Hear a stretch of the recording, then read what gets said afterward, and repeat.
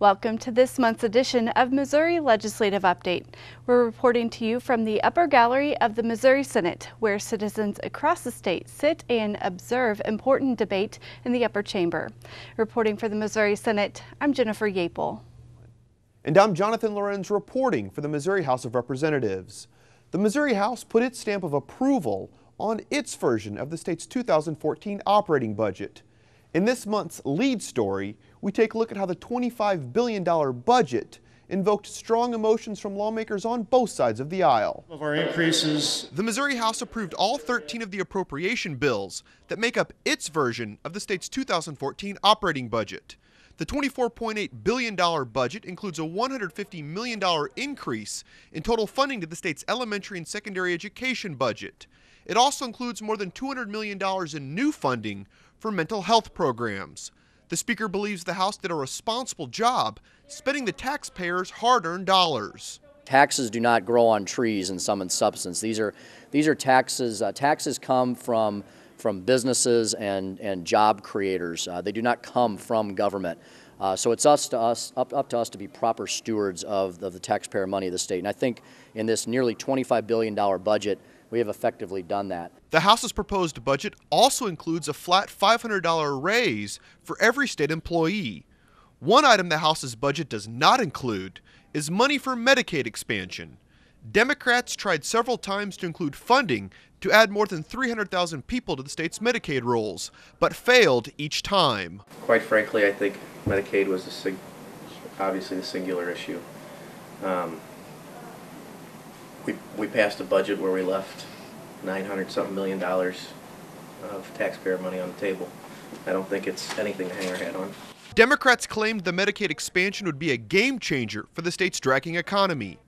Despite their efforts, the majority continue to oppose Medicaid expansion without changing the way the system operates first. This side cares about people. We want to have health care, we want to deliver it, but a program that is admittedly by their proponents 25 to 30% waste, fraud, and abuse, and we're supposed to just expand it because it's free money. At the end of the day, the House approved each of the budget bills and sent all 13 of them to the Senate for consideration. Just after the Missouri Senate received the House's fiscal year 2014 budget plan, senators approved a measure designed to help areas damaged by natural disasters rebuild. Senate Communications correspondent Brad Bayshore has more on Senate Bill 366. Known as the Rebuild Damaged Infrastructure Program, Senate Bill 366 would appropriate state funds to help repair and rebuild areas declared as natural disasters by the President. The new program is designed to be a mechanism to help cities like Joplin, Missouri rebuild after a massive tornado struck the city in 2011. The bill is sponsored by Senator John Lamping of Ladue. He says a bulk of the aid delivered to Joplin during the aftermath was spent on immediate necessities like food, water, temporary shelter, and cleanup, and that very little money was left over for the reconstruction and repair of the city. The projects that will be eligible include transportation, communications, sewage, water, electric systems, public elementary and secondary school buildings, the program would transfer money from other designated state funds to help create about $15 million for the new program. During debate, Senator Brad Lager of Savannah wanted to make sure the new fund could be used on a statewide basis for areas in need in the future. I would prefer we not limit it geographically because that way this thing can be used as a tool even beyond Joplin. The bill received support from both sides of the aisle. Senator Ryan McKenna of Crystal City says the program could be a blueprint for future disaster recovery. I think what you've done here is good. It's a good uh, benchmark for what, how we ought to do this in the future. Senator Jason Holsman of Kansas City offered an amendment during debate that would have created a one tenth of a cent statewide sales tax to help fund disaster recovery efforts in the future. He says his proposed sales tax increase could create an estimated 60 to 80 million dollars. All people in the state of Missouri will pay the sales tax, and all people in the state of Missouri are vulnerable to a natural disaster. This is truly a communal need that government serves. This is our ability to show the wherewithal and the political will to say that we want everybody to share in this cost. Senator Holsman's amendment was later defeated. Senate Bill 366 now moves to the House for similar consideration. If approved and signed into law, the new program would start July 1st of this year and expire in June 2014. Reporting for the Missouri Senate, I'm Brad Bayshore. The Missouri House passed a proposal aiming to protect Missouri's Second Amendment rights. Supporters claim the Second Amendment Preservation Act is all about standing up to the federal government. And it was even agreed upon. The Missouri House put its stamp of approval on a proposal aiming to protect the Second Amendment rights of Missouri citizens. The Second Amendment Preservation Act makes all federal acts and laws intended to infringe upon the Second Amendment null and void.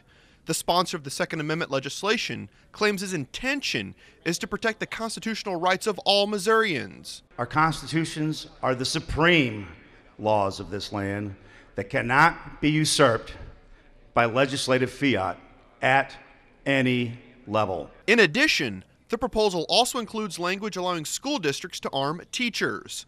It also makes it illegal for any law enforcement officer or federal agent to enforce any federal law or regulation intended to restrict one's Second Amendment rights.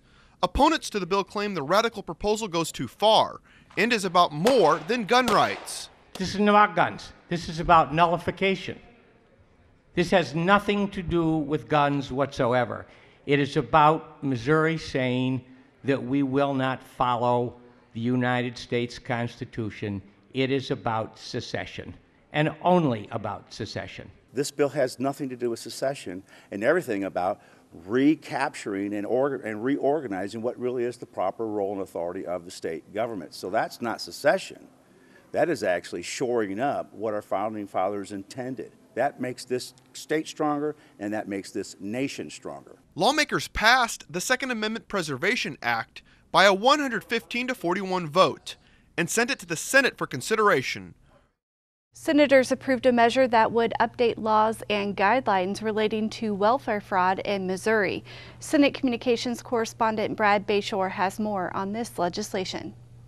The upper chamber recently approved a measure that would strictly limit where and how electronic benefit transfer or EBT cards can be used in the state. The cards are issued to Missourians who receive temporary assistance for needy families or TANF benefits.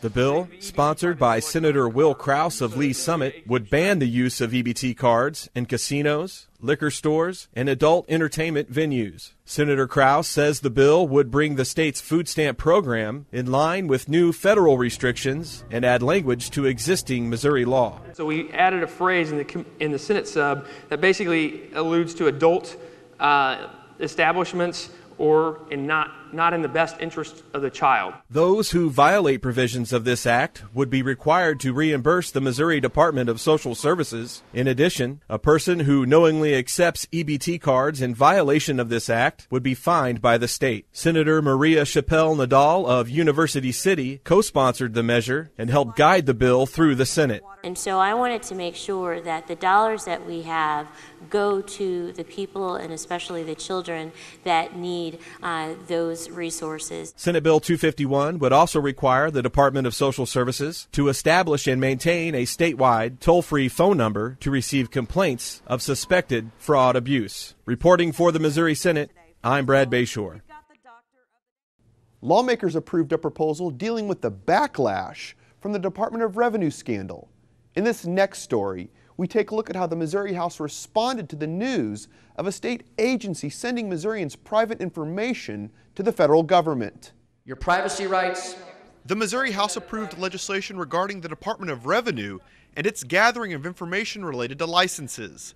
The Department of Revenue recently made its way onto headlines because of reports claiming the department was sharing the private information of concealed gun permit holders with the federal government.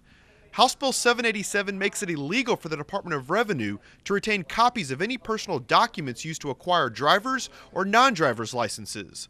The sponsor of the proposal claims his legislation stops the state from collecting information it doesn't need. It stops the state from needlessly collecting a massive database of source documents that the state doesn't need and by their own admission, they don't even check.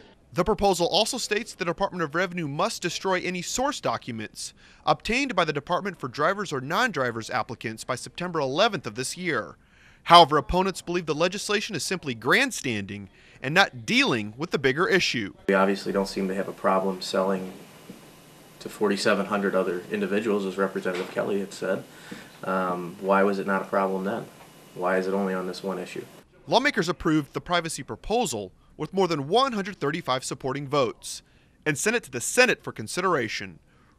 With a near party line vote, lawmakers in the Missouri Senate gave their final approval to Senate Bill 112 that would authorize the New Markets Tax Credit, a program so popular it's been dubbed the Missouri Model because other states have examined and tried to replicate this Missouri program designed to help get small businesses off the ground and spur economic development.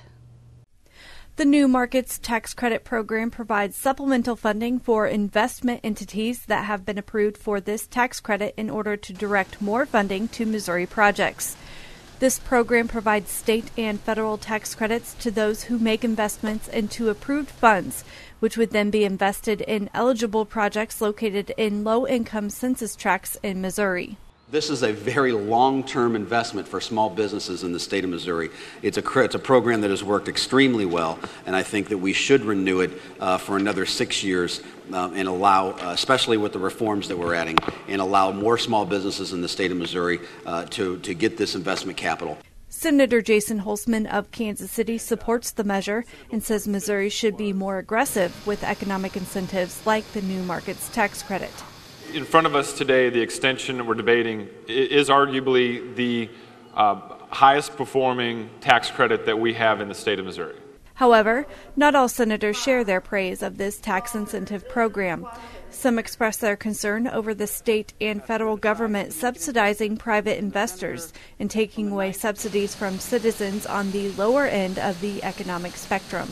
I would suggest that he has now become, his willingness to invest has now become dependent upon the federal and state government.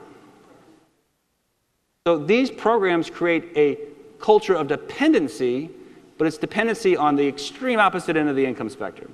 Senate Minority Floor Leader Jolie Justus of Kansas City offers an amendment, which was later defeated, that would have created the Missouri Angel Investment Incentive Act in Senate Bill 112. The amendment would have provided tax credits to investors who provide monetary support to new businesses. I know there is a debate right now on whether or not government should be involved in, in job creation. Um, I would like to say that we are already involved in job creation, and if we're going to go down that road, I think one of the pieces that we need to fit together into a total picture is a tool for those folks who are in the startup phase. Senate Bill 112 was voted out of the Senate in mid April and is now in the House for similar consideration. Up next on Missouri Legislative Update, veteran Capitol reporter Bob Priddy of the Missourinet sits down with Senate Education Committee Chairman David Pearce for Capitol dialogue over the state of education. Stay tuned.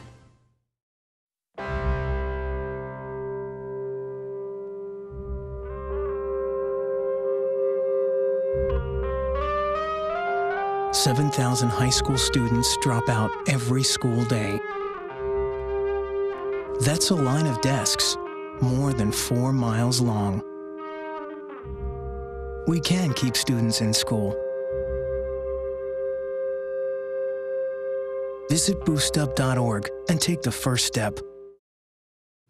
Welcome to the Capitol Dialogue segment of our program. Our topic today is education, and we're going to start by talking to Senator David Pearce, who is the head of the Senate Education Committee. You also keep an eye on education issues on the Senate Appropriations Committee, as I recall, too. So you, you have a couple of very influential positions in the state Senate when it comes to this whole issue of education.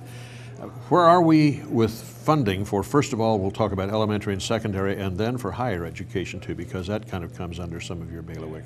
So where are we with funding for our elementary and secondary education schools now?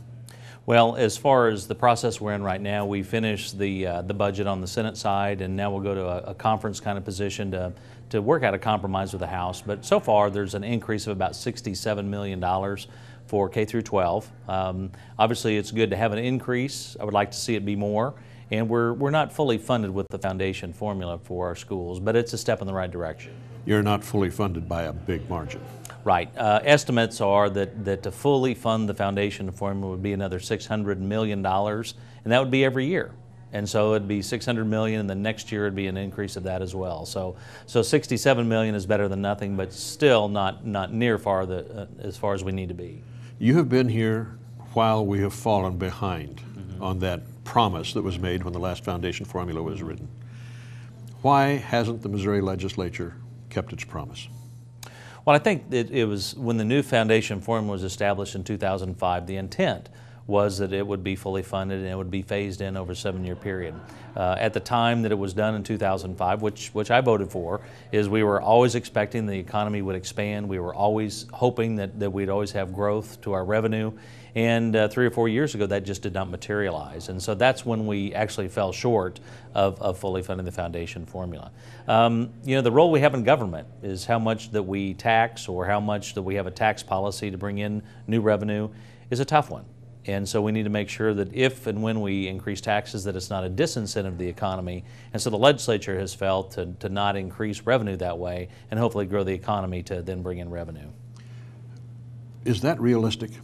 I mean, can you, can you hit that 620 million hole by waiting for the economy to profit from the tax cuts that are made that reduce the amount of income that's available for schools and other programs? Well, I, I do think that, that you can reach a point of saturation where you're taxing the state too much um, that it's a disincentive to the economy. And quite honestly, people don't have to live in Missouri. And we have seen cases with uh, Illinois where uh, their taxes have increased so much that a lot of businesses are looking to go somewhere else.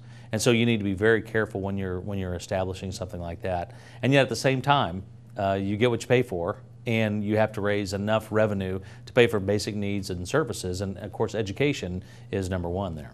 Have we met our responsibilities? Well, because every time I turn around, you guys are cutting taxes again. Well, um, uh, now we could spend a whole yeah we could show on that. Uh, Senate Bill 26 was a bill that I voted against, and that was one to to to cut taxes, to cut revenues, some 700 million dollars to the state.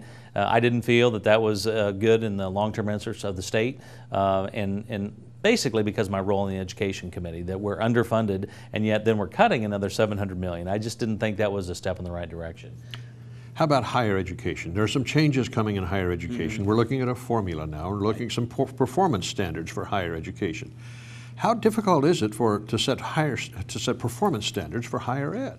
It's tough because we have 13 public four-year uh, institutions in the state, and they're all different. They're different parts of the state. They have different missions, and uh, to come up with one standard to fit all is very, very difficult. In fact, that's what we're right in the middle of in, in the Senate right now, coming up with performance funding. But I think it's a step in the right direction. That uh, if you're doing well, if you're meeting the standards which you've established for your yourself, then you get rewarded. And if not, then you're going to get less funding from the state. Now, that's an important point you just made. Who sets these standards? It was the schools that set the standards for themselves, wasn't it? Exactly. It's not just, you didn't do that. Right. I didn't. Uh, the Commissioner of Higher Education didn't. It's the schools themselves came up with five standards. And quite honestly, we, we think that those standards should be fairly tough. They should be rigorous. Uh, they should be challenging so our universities are aspiring to something better. And so uh, that is, that's uh, one thing that we're looking at. In fact, the governor in his budget and the Senate agreed with that all new funding would be based on performance standards. And so as universities excel, then they're going to get more funding. The formula. Mm-hmm. As I recall, didn't the formula work out to where you're already underfunded with higher education? What we did is we took a look at 10 states. Those five states right above us and those five states right below us for per capita income. And so we looked at their higher institutions of, of higher learning to see how much they funded. Yes, we were below. Uh, we're at about $850 million for those 13 institutions, whereas our surrounding states in those uh, peer states, they're at about 1.2 billion. So we're some $400 million below what peer states, what similar states to Missouri are. What are your greatest fears? about underfunding elementary and secondary and higher ed at this point? Well, we are meeting at the bare minimum our constitutional obligation of having at least 25% that goes to education. That's both K through 12 as well as higher education, but, but we can do better. And I do think for higher education, especially for performance funding, I think that will be helpful. Uh, I think that will send a very positive message about funding for higher education and then also what we expect from our uh, institutions of higher learning. Last question for you. How long do you think it will be, or do you ever think we'll be able to reach the levels that you think, or that the numbers would indicate we need to be at? Uh, it will take several years. Uh, although I do think it's still important to look at those numbers and it's something to shoot for um, through the appropriations process, and then still uh, have high standards, uh, expect a lot from our from our colleges and from our schools. Up next, Bob Priddy gets the other side of the story when he sits down with one of the House's top Democrats. That's after the break on Missouri Legislative Update. It's not his new group of friends. It's not the video games. It's not the neighborhood. Mom, do I have to go to school today? The biggest threat to your child's future could be you. Every day they miss, even in middle school, puts their graduation at risk. Our next guest is Representative Genise Montecillo. She is from St. Louis County and she's a former classroom teacher. That's good experience for her because in the legislature in the House of Representatives, she's a member of the Budget Committee that looks at education. She's also on the Elementary and Secondary Education Committee and the Joint Education Committee. When you were a classroom teacher in St. Louis County for 25 years, special ed, um, and you and you thought of the people up here who were passing the laws, providing the funding, making the policies for teachers like you. What did you think of them?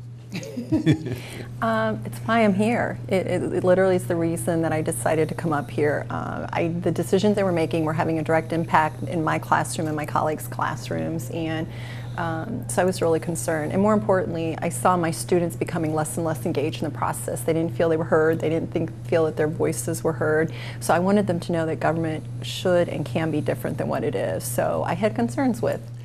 So you came up here with some pretty high ideals, mm-hmm. and you've been here now four years. Uh, this is the start of my third year. Your third year, okay. Term. Your second term. Mm-hmm. And how has reality hit you? Um, I don't give up. So, um, you know, there is the reality factor, but I'm still fighting for the same goals. And there are frustrating times. Last few weeks have been particularly frustrating with some of the education issues. And, and talking with my son, he's like, Mom, that's why you're there. So if, if those things weren't going on, there'd be no need for you to be there. So um, you just have to do what you can do. And you have to make sure, I promised my students I would make sure their voices were heard. And that's what I, what I try to do every day when I come to work. So what, what do you tell the people here that your students would want to say to them? I do try to bring their voice. I try to bring my classroom experience. They they want to be relevant. Um, they want the decisions that are being made about them to have a positive impact. My goal is to make sure that whatever we do um, has positive educational outcomes. So I always come back to that. How are we how are we going to get positive educational outcomes? And if you're going to introduce a bill to me, are we going to be able to get those positive educational outcomes? Um, the kids want they want to learn. They want to be educated. They want highly effective teachers in their classroom. They they um, they want to know that their voice or they want to see government working. So it's not only for me, it's not just those educational issues and educational bills. They need and want to see that government's working for them and their voices are heard. It's same as my other constituents. It's not just my students, but when I get constituent calls, they want to know that I'm listening to them. They want to know that government is listening listening to them. That's how it should work. I taught special ed civics classes, so. The issue of special education, not special education, the issue of teacher accountability has been around long before you got here probably going to be around long after both of us are gone. But how does teacher accountability seem to you, not only as someone who comes out of the classroom as a teacher, but as someone who now is working in Jefferson City on this very issue? How do you think that should be shaped to be most effective to people like, like you were for 25 years? First of all, we have an accountability piece in place. DESE has just implemented a new evaluation piece as part, part of the waiver. Um, I think we need to let, get that up and get it running and make sure that it's, it's going to be effective um, again, when we talk about House Bill 631, that it directly went to assessment and tenure. When I look at that bill, I've asked, show me something in that bill that will lead to increased educational outcomes. There's nothing in there that talks about instructional strategies. There's nothing in there that helps teachers um, address some of the needs in terms of students um, in poverty, minority students, um, all it addresses is evaluating teachers. So we don't know why teachers aren't perform if they're performing um, below expectations. And there's nothing in that bill that examines that. It could be curriculum, it could be environment of the students it would be silly for me to say that highly effective teachers have no impact on education. No, there's no disagreement on that. But it's also just as silly to say that there aren't other factors that impact educational outcomes. So for me, that you have that a type of bill like that that is just so one-sided and single-issue um, is likely to do more harm. In fact, in other places around the country where it's been implemented, it, has been dismal failure. When you look at New York City, when you look at um, Texas schools, Atlanta. Um, other, other districts, it hasn't been effective. In fact, scores have tended to drop. In many of those districts, there have been, they've been called into question about cheating.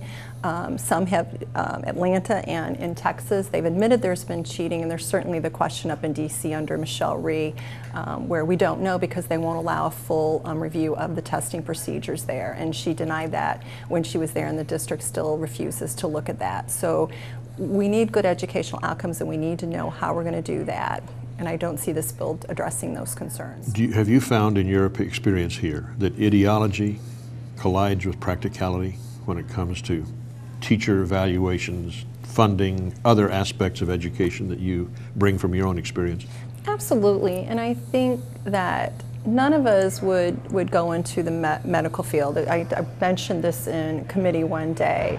Um, me being interested in brain surgery or neuro, it's not going to make me a brain surgeon. I can be interested, I could have a passion for it, but that doesn't mean that I'd be able to be a neurosurgeon. I trust you, nobody would want me operating on their brains. But I think a lot of folks, we've all been to school, we've all had experience with education, with teachers, so we all kind of feel like we know what's going on in the classroom when indeed most of us don't unless you have that experience. So I think there are a lot of my colleagues, their intent is very good. They want better outcomes for students. Um, and I think there are groups, issue groups here in the Capitol that are trying to influence them. And, and, and again, going back to this issue of just accountability and assessment and tenure, um, and I think people are so hungry for better outcomes to be able to go back to their districts and say that we're doing something to make it better that they kind of um, grasp onto this when, in my opinion, it's very short sighted and I don't think it's going to lead to the outcomes that we want. Thanks for being with us today. Well, thank you. Thank you. And that's our show for this month. If you have any questions regarding anything going on in the Missouri House, you can visit our website at www.house.mo.gov. I'm Jonathan Lorenz reporting for the Missouri House of Representatives. And if you have any questions about the legislation that appeared in this program, please visit the Missouri Senate website at www.senate.mo.gov. There you'll find the contact information for the 34 members of the Missouri Senate, as well as a link to the Senate's newsroom website. I'm Jennifer Yapel reporting for the Missouri Senate. Thanks again for watching, and we'll see you next time on Missouri Legislative Update.